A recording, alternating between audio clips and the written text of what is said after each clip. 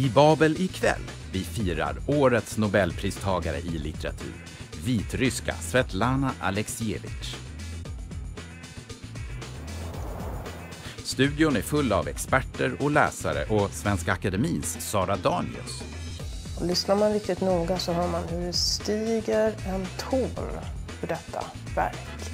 Det är en ton av förtvivlan. Vi får också träffa pristagaren själv hemma i lägenheten i Minsk. Для много ожиданий, что именно вам вручат эту премию. Вы, вы лично ожидали это? Нет, ну это, ну как можно э, ожидать? Och så har det gått 60 år sedan islänningen Haltor Laxness fick Nobelpriset i litteratur. Programledare är Jessica Gedin.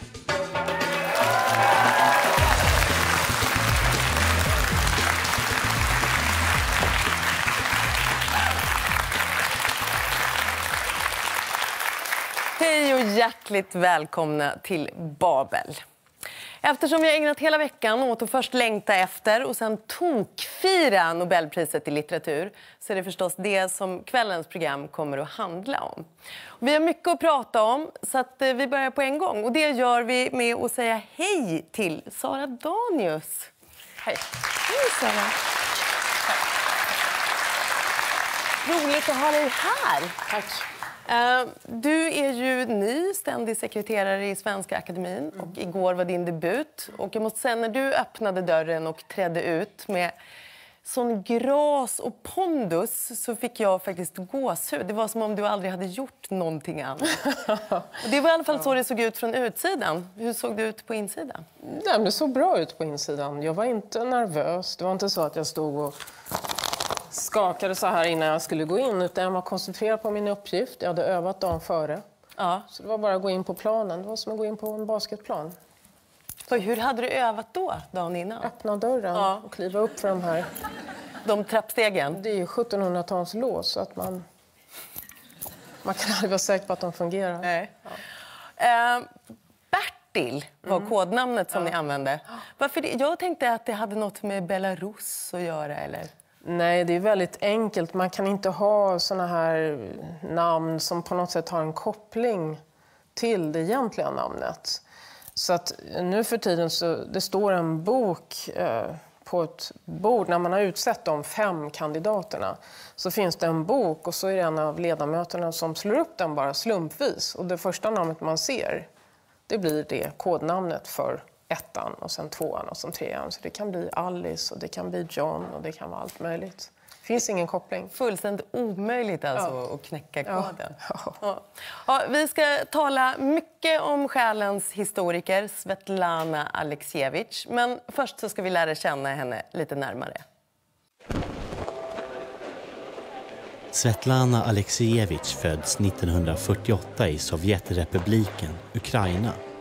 Mamman är ukrainska och pappan vitryss och familjen flyttar till en liten by i Vitryssland där båda föräldrarna jobbar som förskolelärare. Vitryssland har drabbats av en katastrofal förlust och förstörelse under andra världskriget. Redan i grundskolan skriver Svetlana Aleksijevitj artiklar och poesi för skoltidningen och 1967 börjar hon studera journalistik i huvudstaden Minsk. Вот я выросла в стране, где или воевали, или готовились к войне, или восстанавливали все после войны. И поэтому я хотела понять, что это за безумие. Вот в школу, институт. Я помню это все время разговоры о героях, о войне, о победе, что вызывало жуткий внутренний протест у меня. Как будто вся жизнь, только мы родились, как, только чтобы воевать. Других ценностей как бы нет. И, конечно, я хотела понять. Under 70-talet arbetar hon som reporter och redaktör. Svetlana Aleksijevitj vill förstå sitt lands grymma historia, Sovjetmänniskans verklighet, drömmar och ideal och börjar samla intervjuer till ett slags kollektivt prosaberättande. Utifrån tusentals röster väver hon en kör av erfarenheter och vittnesmål. Hon blir en skildrare av dem som aldrig hörts eller blivit tystade. 1983 är hon klar med Kriget har inget kvinnligt ansikte. Den första delen i bokserien Utopins röster, historien om den röda människan. Men upplagan förstörs av kommunistpartiet och det dröjer till 1985 innan boken ges ut. Gorbatjov har blivit ledare och inlett en reformation av det politiska systemet. En följd blir större journalistisk frihet. Alexejevitj reser till Afghanistan för att samla röster om det krig Sovjetunionen fört i hemlighet under 80-talet. Hon intervjuar veteraner, sjuksköterskor och mödrar till stupade soldater. Zinkpojkar ges ut 1989, samma år som armén lämnar Afghanistan. Boken möts av stark kritik från militären och kommunistisk press och Svetlana Alexejevitj ställs inför rätta. Tack vare starka protester läggs åtalet ner. Det blir tidigt 90-tal och det stora imperiet brakar samman.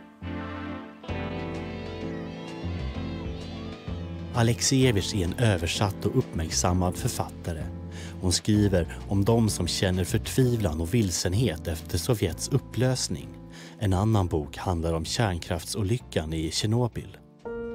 Men i hemlandet förbjuds hennes böcker av president Lukasjenko. Slutet av 90-talet blir en tid av förföljelse och politiska trakasserier. Vitryssland är ett land där oppositionella och frispråkiga journalister har en egendomlig förmåga att försvinna eller dö. År 2000 väljer Svetlana Alexejevitj att fly. Hon tillbringar några år i exil i Paris och Berlin och mellan 2006 och 2008 bor hon i Göteborg inbjuden som fristadsförfattare. Sen 2011 lever hon åter i Minsk. Sovjetunionens utopi är krossad, men inte behovet att berätta om människan och tragedierna som följer i frihetens spår. У всех э, людей после утопии суженное пространство. Вот о чем можно сказать. Что пространство личности очень узкое. И самое страшное, что остается после утопии, это не плохие дороги, плохие дома, а это человек, который не может долго быть свободен.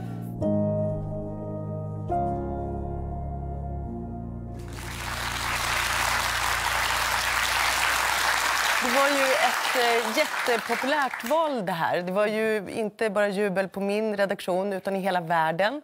Och min mamma som alltid ringer mig efter att Nobelpriset i litteratur har utdelats var så här rörd och det var även jag. Men påverkas du av det här? Dras även du med i detta?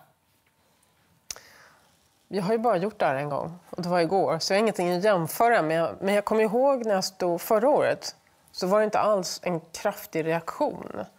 Så att visst var det skillnad. Men det känns inte, för man står omringad där av på något sätt en mur av kameror. Ja, så jag, ja, jag vet inte vad jag ska säga. Mm. Du har ju sagt att hon har utvecklat en ny litterär genre, mm. eh, Alexejevitj, mm. som överskrider det journalistiska formatet. Mm. På vilket sätt har hon förnyat den? Ja, på flera sätt. Alltså, eh, dels, det är så många komponenter i hennes verk. Dels är det att hon har... Det här är ett projekt som hon har hållit på med i nästan 40 år. Alltså man behöver en, en fantastisk uthållighet för att orka hålla på. Och också orka lyssna till så mycket lidande som hon har gjort. Eh, det måste man ha en väldig respekt för. Det räcker inte för ett Nobelpris. Eh, men, men det är en del av det. Men sen är det den här metoden som är att jag menar, en vanlig journalist bäddar in det han eller hon hör från människor, alltså när man gör intervjuer, i, en, i ett större scenario. Och ofta så får det gärna falla lite glans på journalisten själv. Jag hoppas att du inte ursäktar att jag säger så här i ett journalistprogram. Jag är helt prestigelös. Vad bra, jättebra. Det var det jag trodde. Men i alla fall, eh, hon håller sig själv i bakgrunden. Allt hon är intresserad av är rösten. Det är allt hon vill ha. Hon lägger inte till bilder, hon lägger inte till ortnamn. Eh, beskriver hur den här personen har det i sitt kök. Utan alla sådana konkreta detaljer, det får vi inifrån det som den här människan själv berättar. Eh, och, så det är en sak. Nästa sak det är att hon sen destillerar fram, alltså Alexievich destillerar fram det essentiella i varje berättelse. Så att hon är på jakt efter det där vad ska jag säga, förtrollade ögonblicket när människor öppnar sig. Och när det där vad ska jag säga, äkta, genuina träder fram.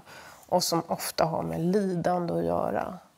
Det kan vara förtvivlad kärlek mellan människor. Det kan vara den förtvivlade kärleken till människor som inte längre finns och som har dött under de mest vedervärdiga förhållanden. Så det är en sak. Och så ytterligare som är det sista, det är att det räcker inte med en röst. Det måste vara många. Och någonting händer då när du satt ihop så många röster som hon har gjort och komponerat dem på det sättet som hon har gjort. Att det blir något annat, någonting som vi inte har läst förut. Va? Och lyssnar man riktigt noga så hör man hur det stiger en ton ur detta verk. Och det är en ton av förtvivlan som stiger oss till mötes. Mm. Hon har ju, alltså jag tycker ju att hon är en storartad Nobelpristagare på många sätt. Dels är det det litterära, men det är ju också det politiska. Och jag tycker i synnerhet i vår tid att det hon skriver och sättet hon skriver det på är så viktigt. Och att lyfta fram också krigets och politikens konsekvenser för den vanliga människan på det här sättet mm. i litteraturen. Men har ni också talat om det i era diskussioner med henne i akademin? Det är något som inte jag kan tala om. Mm. Vet du att Jag visste att du inte skulle besvara den frågan. Jag blev ändå tvungen att ställa den. Men om, om vi, vi säger så här istället. Det, här är ju, ja, men det politiska är ju en stor del av det. Men mm. orsaken till att det fäster och att texterna mm. går så på djupet det är ju litteraturen, alltså hur hon skriver. Mm. Så vad är det som är liksom exceptionellt med sättet hon skriver på? Ja, det är också att hon, hon vill tala med så kallade, alltså så kallat vanliga människor. De som inte har kommit till tals och aldrig skulle göra det om inte hon råkade komma förbi, komma i kontakt med dem. Man skulle kunna tänka på henne som en eh, försångare, som den osynliga ledaren för den här jättelika kören. Eller att hennes böcker fungerar som sorgekväden över en stor kollektiv erfarenhet. Mm. Eh, ja, vi ska få höra en bit ur Alexievits bok De sista vittnena. Varsågod, Marie Göransson. Jag minns vintern, den kalla vintern. På vintern blev min morfar dödad. De dödade honom på gården till vårt hus, intill porten. Vi begravde honom utanför vårt fönster. På kyrkogården lät de oss inte begrava honom eftersom han slagit till en tysk. Poliser stod vid grinden och släppte inte in någon till oss. Vare sig släktingar eller grannar. Mamma och mormor snickrade själva ihop en kista av några lådor. De tvättade själva morfar, fast en närstående inte får göra det. Det ska göras av främmande människor. Sån är traditionen hos oss. Jag minns hur de pratade om det där hemma. De lyfte kistan, de bar den fram till porten. Poliserna skrek. Vänd om! Annars skjuter vi er alla! Begrav honom som en hund i er egen köksträdgård. Och så där höll det på i tre dagar. De kom fram till porten och tvingades tillbaka och knuffades bort. Den tredje dagen började mormor hacka upp en grop nedanför fönstret. Utomhus var det 40 grader kallt.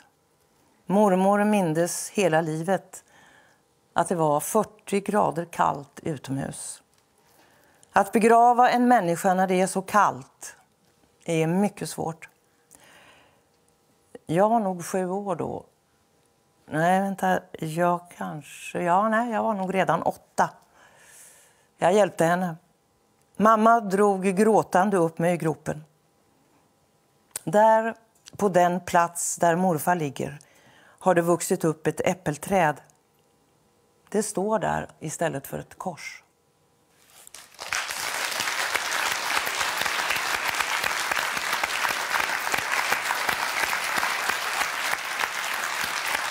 Du passade på att utfärda en liten varning också. Att man inte skulle läsa för mycket Alexievich på en gång och inte strax före läggdags för att man kunde få mardrömmar. Ja, jag fick det i alla fall. Jag märkte det. Så jag vaknade upp vid fyra, tim- fyra tiden på morgonen och hade uh, förfärliga tankar. Och det var just när jag hade läst en bra bit i, i eh, Kriget har inget kvinnligt ansikte. Men det ska inte avskräcka någon från att, från att läsa, men jag tror det är bra att ta det lite mindre portioner. Och det är bitvis mardrömslikt. Alltså, det är väldigt verkligt, men samtidigt overkligt. Ett enda jättelikt mardrömslikt undantagstillstånd. Det är inte mardrömslikt då, men i efterhand så ter det sig så. Och det där lyckas hon förmedla på ett eh, mästerligt sätt. Mm. Ja, det är ju verkligen litteratur som man blir uppslukad av på, i ordets faktiskt rätta bemärkelse. Eh, ja, eh, vi ska prata vidare om Alexievich. Eh, men vi ska också få höra vad Alexievich själv har att säga. Ваши Ваши ощущения? ощущения? Мне уже, а по какому телефону? По мобильному позвонили? По мобильному. Ты же редко поднимаешься. Ваши ощущения, что вы чувствуете? Ну и даже не знаю, но мне очень нравится вот вас всех видеть и вашу реакцию. Да. Мы плачем, честно говоря, от счастья. Меня заставите плакать. Для много ожиданий, что именно вам вручат эту, эту премию. Вы, вы лично ожидали это?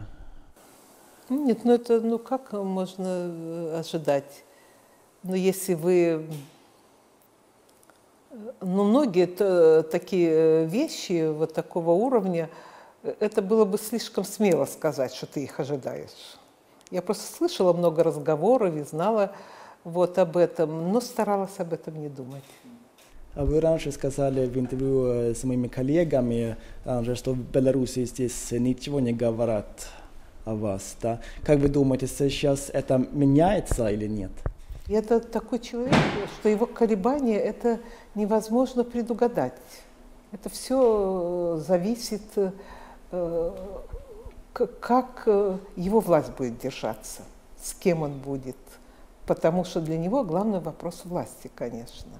Вот. И ну, это очень сложно сказать, как будет. Но сейчас у него вот такие э, время европейской игры.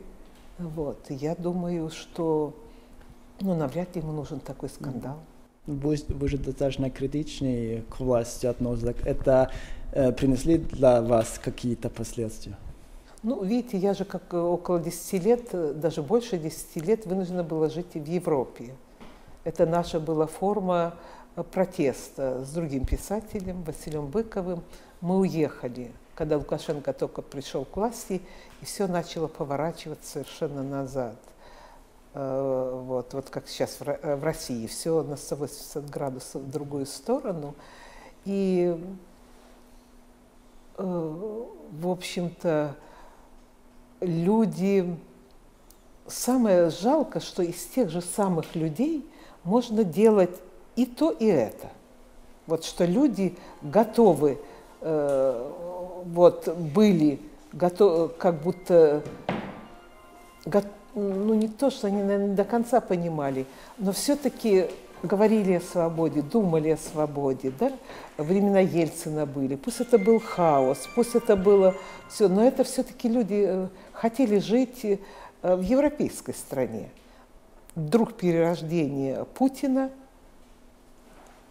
и мы слышим совершенно другое. То есть работает пропаганда, и мы, и мы видим совершенно другое. Так что в наших странах очень трудно что-то предугадать. Вы уже в де- в 80-е годы стали собирать женские голоса и Да, свидетели да, до Второй мировой. Почему, кратко вы можете сказать, по- почему вы стали это делать? Почему вы хотели это делать? Ну, э, это была э, моя идея, вот, написать историю тех людей, которые вокруг меня. Вот что такое красная идея, и как мы живем, как мы это понимаем. И, то есть то, что я называю домашним социализмом. Вот как он работает в человеческой душе. Не только там э, в президиумах, э, там, в исторических э, книгах, выступлениях там Брежнева или Черненко, а именно как он, что он делает с маленьким человеком и как. И вот случилось, и, и это 30 лет я писала эту историю, и за это время был Афган еще, э, был Чернобыль, а потом был развал этой огромной страны. Вот мне кажется, вот э, я оказалась нужным человеком в нужном месте. Стоп. Сейчас надо дать возможность Vi ska ju ha bokcirkel här ja. om en liten stund. Och Då ska vi tala om Kriget har inget kvinnligt ansikte. Det är ju också den bok som allra, allra oftast rekommenderas mm. att läsa. Varför är den det? Jo, därför att den handlar om någonting som man kan tro att man vet ganska mycket om, andra världskriget. Eh, men här kommer då en berättelse om andra världskriget på ett sätt som vi aldrig riktigt har stött på tidigare. Eh, och den handlar om de eh, en miljon sovjetiska kvinnor som deltog i, i det stora fosterländska kriget, som det hette då. Och många hade aldrig talat om denna erfarenhet som har pågått i flera år eh, och som förändrade dem för livet naturligtvis förrän då Aleksijevitj kom och började systematiskt göra intervjuer, djupintervjuer då verkligen.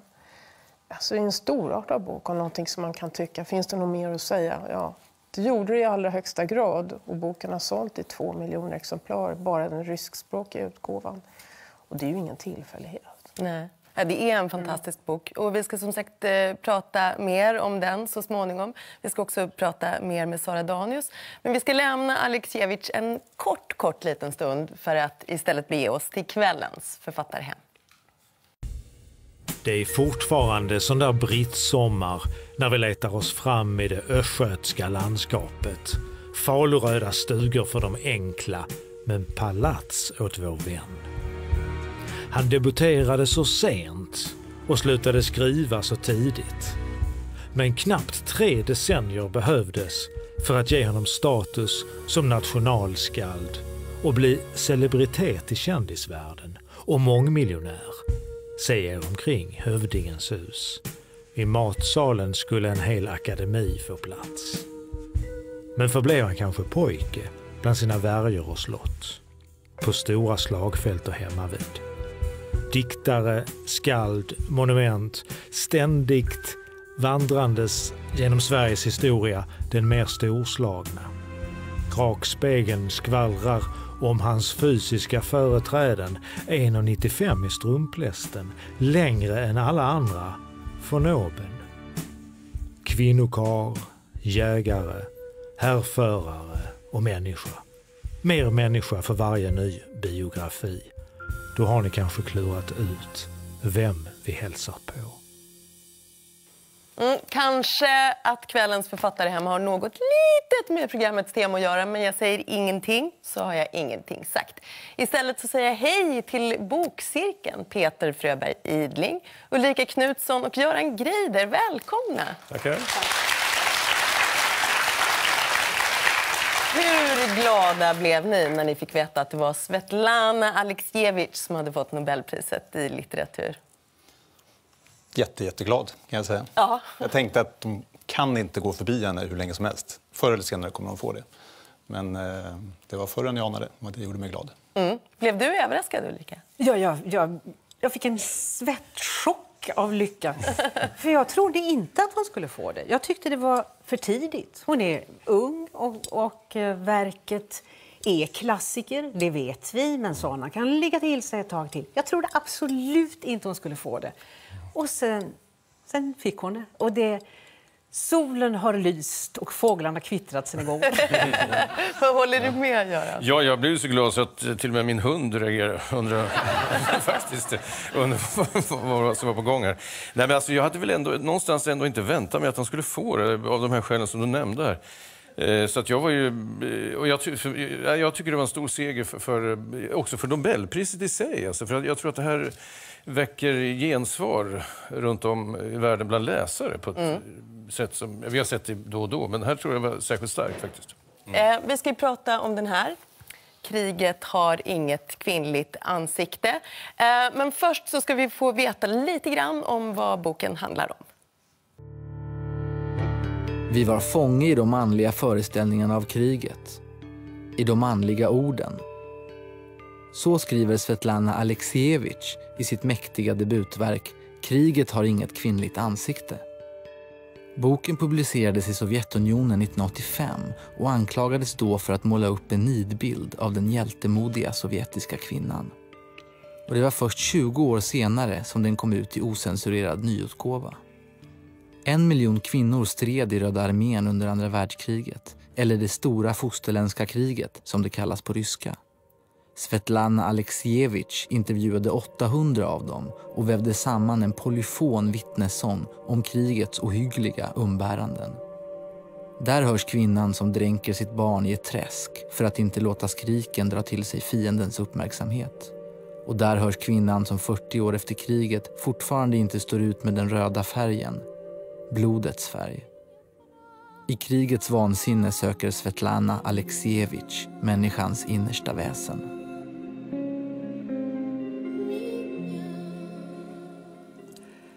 Jag spelar inte bara in. Jag söker rätt på människosjälen och följer den dit där lidandet gör en stor människa av den lilla människan. För mig är hon inte ett stumt historiens proletariat som inte lämnat några spår. Jag har upptäckt hennes själ. Jag lyssnar på hennes språk, hennes text. Men varför har jag hamnat i konflikt med makthavarna? Nu har jag förstått det. En stor idé kräver små människor. Den har ingen nytta av att de blir stora. För det är onödigt och obekvämt. De blir för arbetskrävande att hantera. Men jag söker efter dem. Jag söker efter små människor som är stora. De är förödmjukade, förtryckta och kränkta. De genomlevde Stalintidens läger och förräderi, men segrade ändå. De genomförde ett underverk. Ingen kan ta ifrån dem deras seger.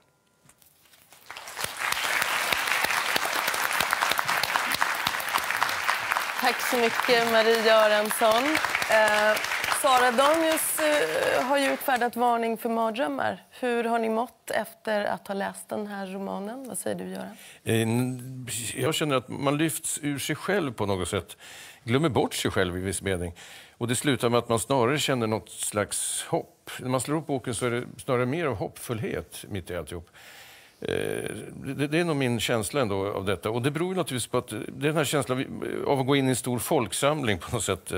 Eh, Det sorlar bara där och sen plötsligt så hör man eh, allt fler enskilda röster komma närmare och då glömmer man bort eh, sig själv på något sätt. Va? Så det här är någon sorts lektion i eh, självförglömmande faktiskt i viss mening. Mm. Men för det är ju någonting med det här sorlet, att man blir utsatt för Ja. alla de här rösterna och berättelserna hela tiden. Eh, men, och vissa av dem är ju helt fruktansvärda. Eh, men det är ju några som sätter sig djupare. Jag tänker bland annat på det är en flicka som eh, får sin första menstruation under en strid. Och, eh, hon vet inte vad det är och tror att hon har blivit sårad. Och det där ögonblicket säger så mycket om inte bara hur unga de var, utan hur otroligt oskyldiga de var. Vad, vad, vad säger du, Ulrika? Vad är det för röster som har fastnat lite extra hos dig? Jag vill knyta an till den här du säger, de unga oskyldiga och som Göran säger, en sorts hopp. Alltså det är ju död och blod och förbannelse omkring dem. Men det var ju kriget, det vet man. Vad, de här, vad hon skildrar, Svetlana Alexievich, är så mycket livsglädje. De här är unga människor, de vill leva.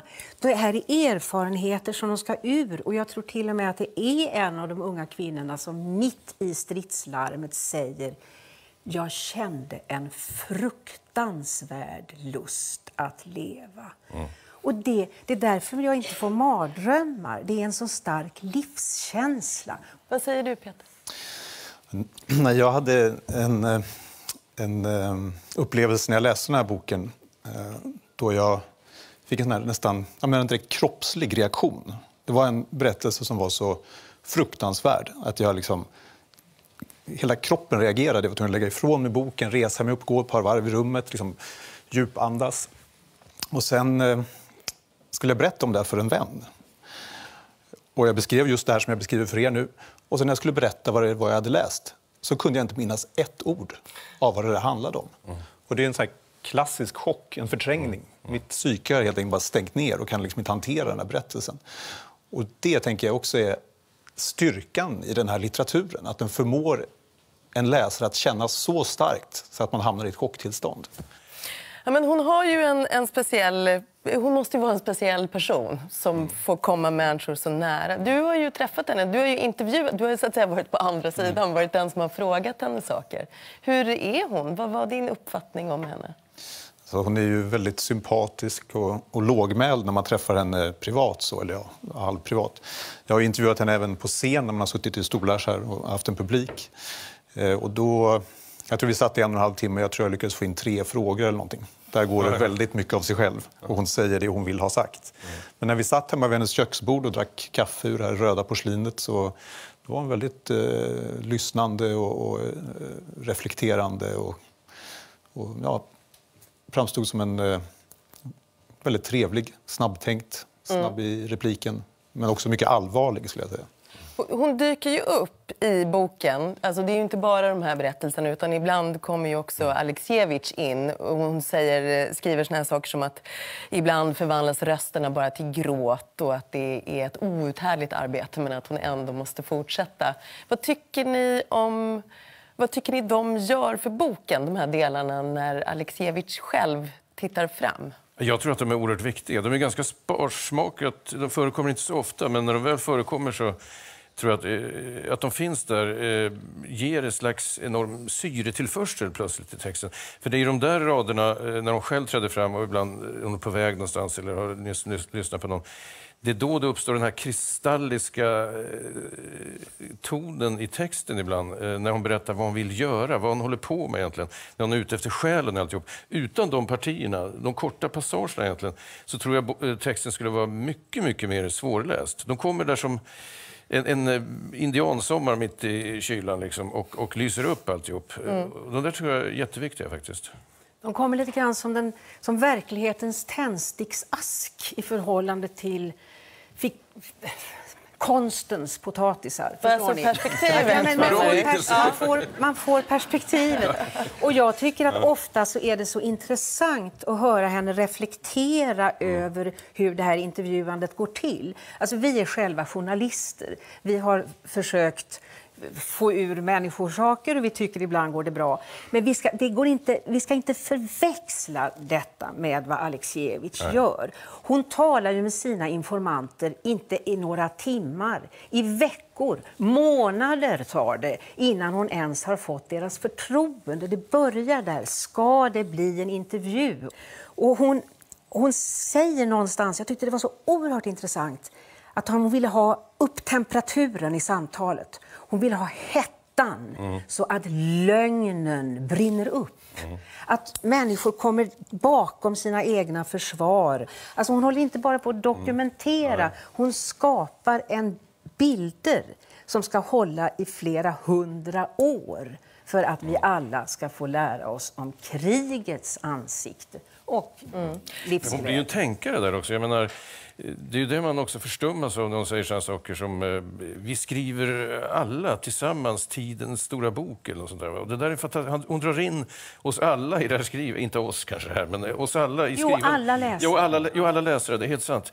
Eh, och det där tycker jag, det är en slags, den djupaste demokratiska övertygelse man kan ha någonstans. Som punkterar både uppblåst eh, journalistik och uppblåst konst i någon mening när hon formulerar de där sakerna. Så jag tycker de där korta passagerna de blir lite grann av, jag vet inte vad jag ska kalla någon sorts demokratisk filosof. De lyfter verkligen boken. Alltså. Jag håller inte med. Gör det inte? Nej, Nej. inte det. Nej. Vad bra. Ja, Var, det är bra, varför kan vi- inte? Låt höra. Hugg Nej. på bara. Vadå? Nej, men till, för till skillnad mot, eh, eh, mot Göran så är det inte mig själv jag glömmer när jag läser de här böckerna, utan jag glömmer henne. Och att jag får en känsla av att det är jag som sitter där. Och en efter en träder de här människorna fram och vittnar om alla de här hemska sakerna. Och jag kan inte värja mig. Till slut, det blir så många och det är så många berättelser och det är så starkt. Så att jag blir helt överväldigad.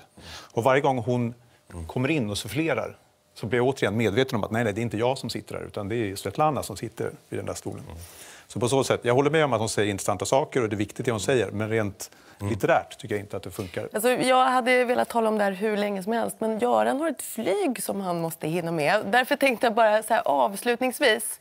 Eh, vi har ju hört akademins eh, motivering. Va, vad har ni själva för motiveringar för Alexievich? Nej, men jag köper akademins mo- motivering bortsett från att jag vill stryka ordet monument över vår, vad det, vår tids eh, mod och lidande. Jag, jag tycker ordet monument inte bör förknippas med henne.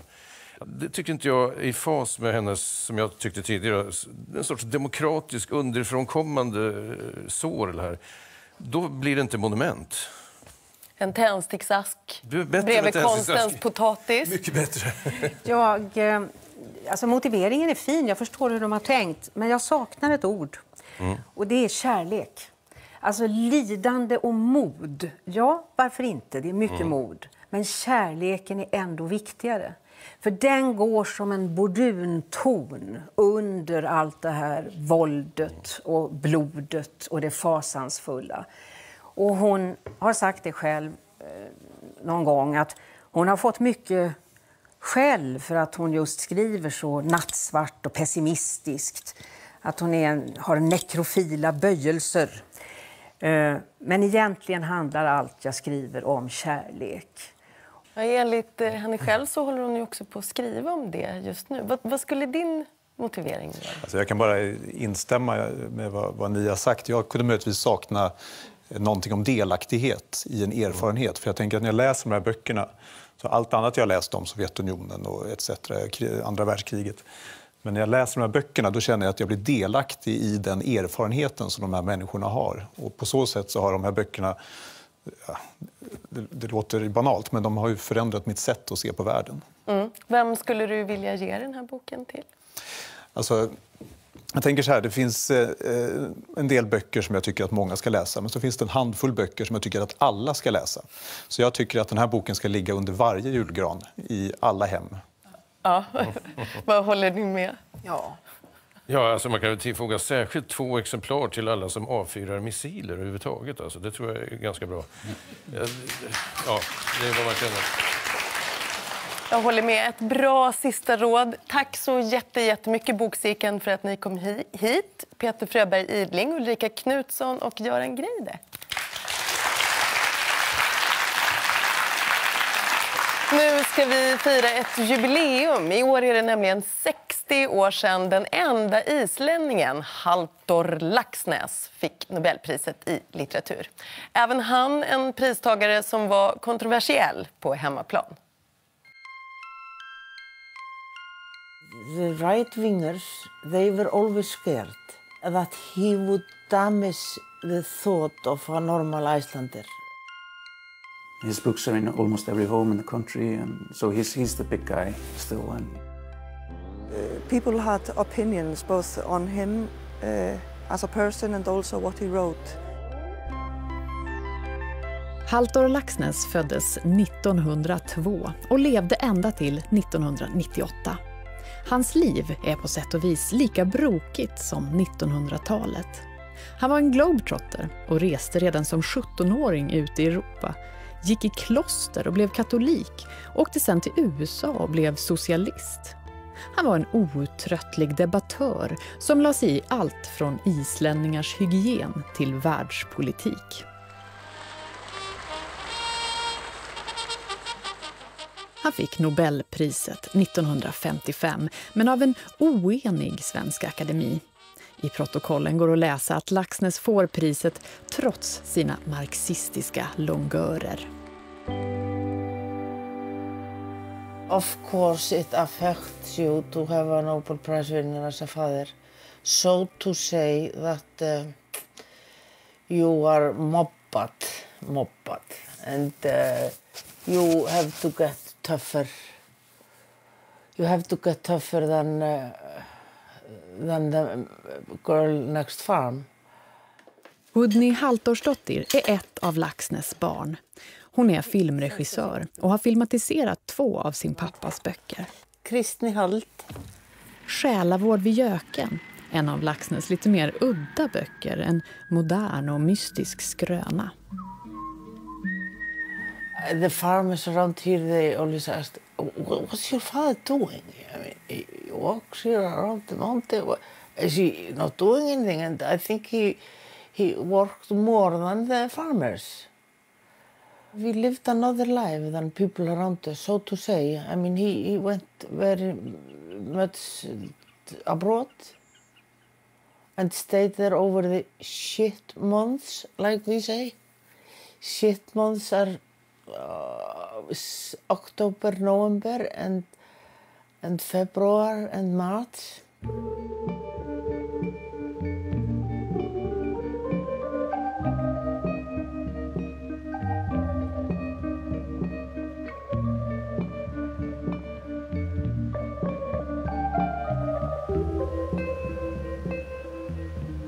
This house was built in 1945.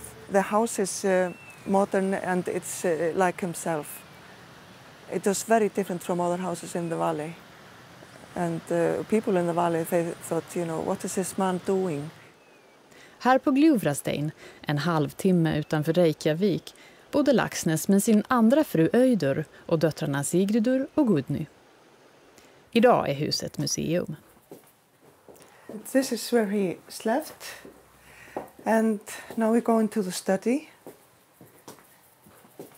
Uh, here you can see that his desk uh, and his pencil and some of his archives. Uh, he liked to stand when he was writing. Uh, he often used this uh, small piece of pencil, a little one like this. Haltor Laxnäs hatade kroppsarbete och visste redan som liten pojke att han skulle bli författare. Han debuterade som 17-åring och i 30-årsåldern hade han sina stora romaner Salka Valka och Fria män bakom sig. När Fria män kom ut i USA 1946 sålde den i 500 000 exemplar. Det är en episk roman om den tjurige bonden Bjartur som är så stolt och besatt av att klara sig själv att hans liv och familj ödeläggs. Haltor Laxnäs gjorde den stolta isländska sagan socialrealistisk och han moderniserade det isländska språket. He changed the language, the romantic uh, way of living that everybody was happy farmer and, and everybody living a good life. He just told the truth that he was uh, he was a he was bad life. I mean, uh, 200 years ago, we lived in we lived in uh, yeah, holes nearly, and sort of people were trying to make it romantic. And uh, and but he told the other thing. He he said it the right way, and he asked people to wash their hands and to brush their teeth and to to eh, fresh up. Ah. Halldor Laxness har inom prosans område förnyat det isländska språket som konstnärligt uttrycksmedel för ett modernt innehåll. Och genom sitt exempel har han givit de isländska författarna mod att använda modersmålet.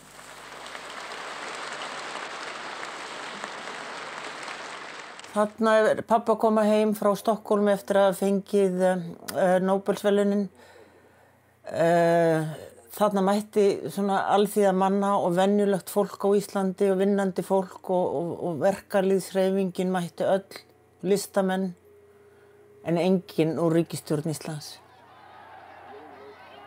Þeir uh, voru ekki sáttur eða hann hefði fengið Nobelsvelunin. Den isländska regeringen var fortfarande sur på Laxness efter boken Atomstationen från 1948. En svidande satir över den amerikanska militärbasen på Island och det isländska medlemskapet i Nato. Laxness reste dessutom ofta till Sovjetunionen och var öppen med sin socialistiska övertygelse. Ett problem för USA-beroende Island mitt under kalla kriget. They, they contacted FBI and said, "Can you please damage the reputation of this man?" And and it went all the way to Mr. Hoover. And uh, it's strange that the Icelandic government they actually asked to put him on the blacklist. So he was put on the blacklist, and that means that you are not red. That they take everything from the from the bibliothek, uh, eh, take all the books from the bibliothek, from the university, and from teaching, and from. So, uh, so he was hidden for 50 years. Så efter dundersuccén med Fria män blev alltså Laxness svartlistad och försvann från USA. Han gjorde tydligt upp med sin Sovjetvurm i boken Skaldatimi 1963. Men redan tio år tidigare skrev han sin egen isländska saga, Garpla. Och vissa menar att den går att läsa som en kritik av både Hitler och Stalin. Hans hem på Gljuvrastein hade alltid varit en mötesplats för författare och musiker. Men så småningom började även statsbesöken att komma. Den omstridde Laxness hade till slut blivit en kulturell ambassadör. He traveled a lot and stayed abroad for a period of time. But uh, the scenery was always uh, Iceland or Icelandic situations, Icelandic farmers or uh, like Bjartur or, uh, or Salkavalka. It's, uh, the scenery is Icelandic. Idag blomstrar den isländska litteraturen som aldrig förr. Islänningarna skriver och läser böcker mer än några andra. Sölvi Björn Sigurdsson är hyllad poet och författare och liksom Haldor Laxness bestämde han sig tidigt för att bli författare. In the second year of college, the teachers went on a strike, and uh, I had basically nothing to do except reading books.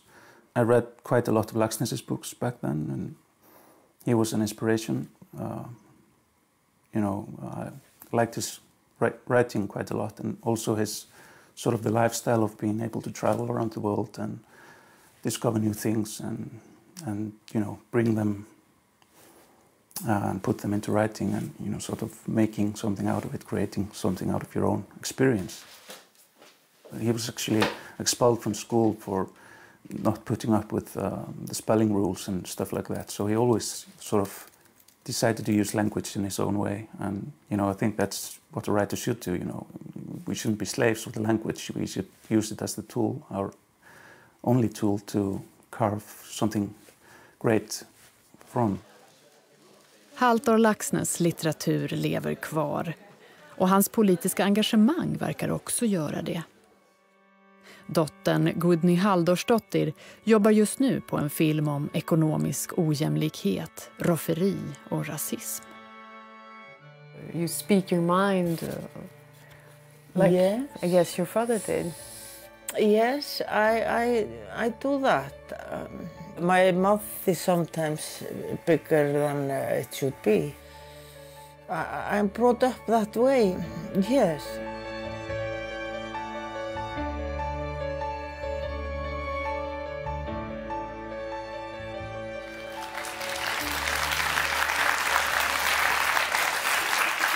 Välkommen tillbaka, Sara Danius, programmets röda tråd. Det är vi mycket glada för. Du, som ny akademiledamot, eh, blir man tvungen att läsa Nobelpristagarna bakåt i tiden? Nej, det finns inga sådana tvång. Alltså man förväntas komma på alla torsdagsmöten men annars är det väldigt frihetlig stämning skulle jag vilja säga. Mm, det låter bra. Välkommen också Dimitri Plax. Du är översättare, författare, dramatiker och just nu så håller du på att dramatisera Alexievich eh, Tiden second hand Ja. för Radioteatern. Ja. Du skrev alltså ett rungande tackbrev till Alexievich i Expressen i torsdags. Vad har ni för relation? Um, ja, jag känner Svetlana privat sedan ganska många år tillbaka. Uh, jag betraktar henne som en vän. Jag vet inte om hon gör detsamma gentemot mig, men jag hoppas det. uh, Hur är hon som vän? Ja, det är lite... Hon är en väldigt intressant person på väldigt många sätt. Uh, när man sitter i hennes kök i Minsk och dricker te med henne så ligger alltid en diktafon bredvid hennes eh, tekopp.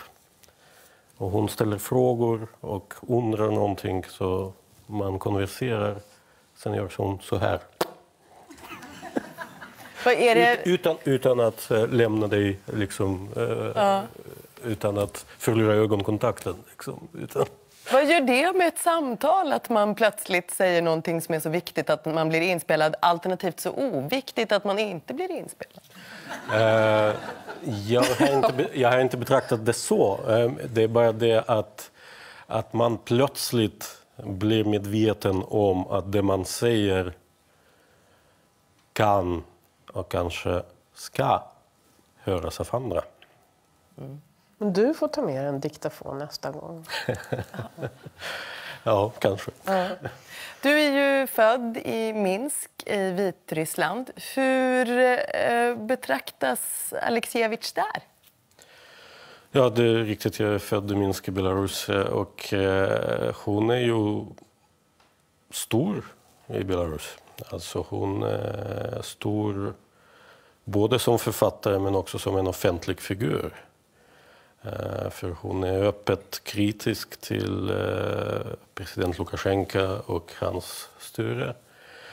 Hon är, man kan säga att hon är svartlistad från statens sida. Hon får inte uppträda på statliga plattformar, så att säga, på bibliotek och statliga institutioner.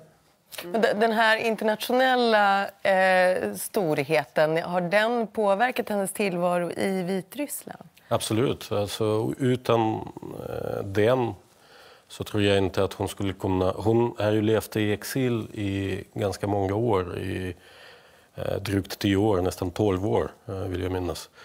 Eh, men hon kom tillbaka till Minsk 2011 eh, Eh, och utan sin sitt kändisskap, om du så vill, så skulle hon kanske inte... Eh, det skulle kanske inte ha varit möjligt för henne att göra det. Men eh, i och med att hon redan då var världsberömd kan man säga, så kan inte staten göra särskilt mycket. Mm. Och vad, tror du nu då? För att när det här programmet sänds, då har det ju varit val i Vitryssland. Tror du att Nobelpriset till Alexievich att det kan påverka ja, men, litteraturen och samhällsklimatet i Vitryssland? Eh, det tror jag nog. Eh, jag tror inte att det kan påverka valutgången eller politiken i stort. Eh, för det är liksom, valresultatet är väntat och alla vet vem som vinner. Däremot tror jag att det kan skänka en, ett slags självförtroende till andra belarusiska författare. Mm. Vad, är, vad skulle du önska att det här Nobelpriset betydde för Vitryssland? Jag skulle önska att eh, intresset till det belarusiska eh, skulle växa i omvärlden och att eh, Belarus skulle bli satt på den litterära världskartan helt enkelt. Och jag tror att på sätt och vis så är det, har det redan skett. Mm. Ja, tack så jättemycket. Um, vi ska tillbaka i tiden och tillbaka till författarhemmet nu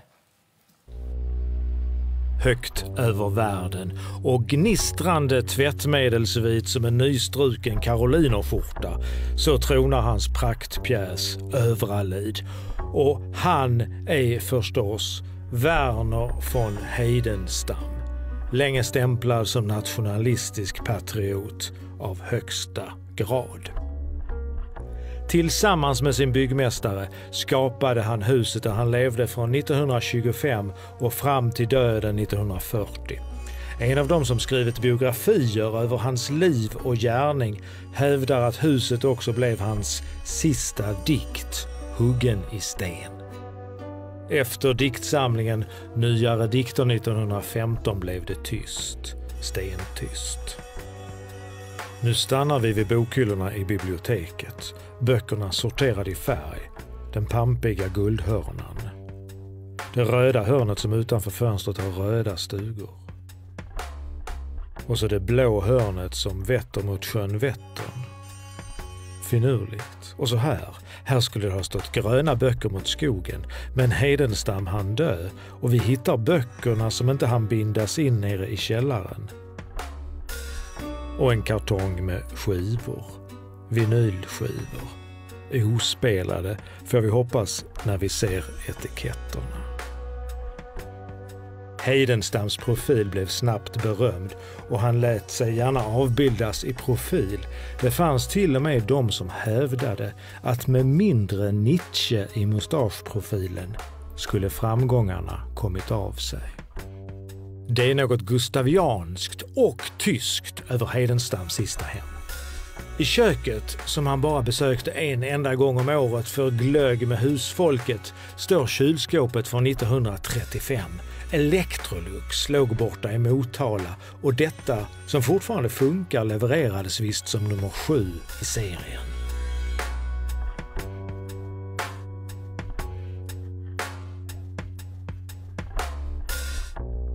Och så de sex sovrummen, specialkomponerade för vännerna.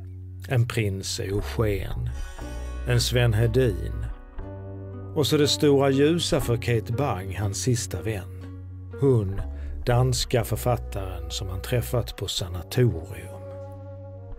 Kvinnor, kvinnor, gott om äktenskap, ännu mer gott om älskarinnor. Emilia, Ellen, Olga, Greta, Kate och ner i åldrarna. Men känslor. Här hans eget sovrum.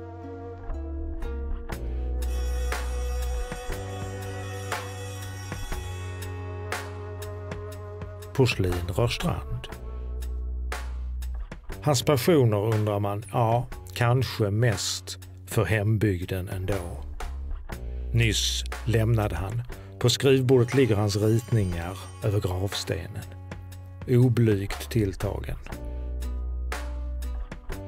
Med kvinnornas i skuggan ni ser, lite mindre där bakom.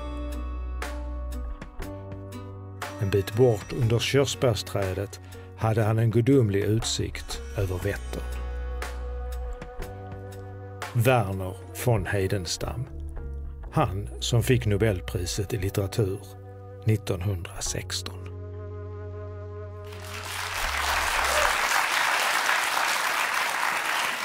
Ja, nästa år är det 100-årsjubileum för Heidenstams Nobelpris. Då kommer du tillbaka, va, Sara? Ja, visst. Du får komma tillbaka när du vill. Vår dörr står alltid öppen för dig. Eh, det här var alltså allt vi hade för ikväll, tyvärr. Men nästa vecka så blir det fler kvinnliga genier i Babel. Då blir det Marsha, Mary och Moa, det vill säga Carola Hansson, Aris Fioretos och Moa Gammel. Så vi ses igen på söndag. Hej då!